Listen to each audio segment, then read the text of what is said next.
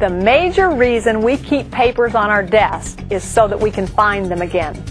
With the Paper Tiger software, that is no longer necessary. The papers you decide to keep can be divided into two categories, action and reference. If it requires action someone else can do, put it in the outbox. If it is something you need to do, put it in an action file. If it doesn't require action, but you want to keep it, put it in a reference file. Here's how it works. Here's a good article about interviewing job applicants. Are you going to be interviewing candidates soon, or is it something you might need to look up later? In this case, you might decide you want to read the article before you start interviewing. So the appropriate place to file the item is in your action location.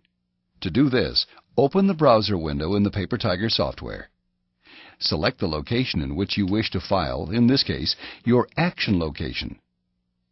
When you first set up the file folders in your locations, you label them starting with number 1. Now it's time to use those numbers.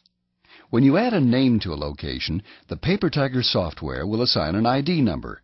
You can then file the paper in the file with that number. You may choose to write the number down on the paper itself or on a post-it note stuck to the paper. This will make it easy for anyone to file the paper again after it's been used. Now I'll help you decide what to name the paper you want to file so you can enter it into the Paper Tiger application. Then you or someone else can always find it in a matter of seconds.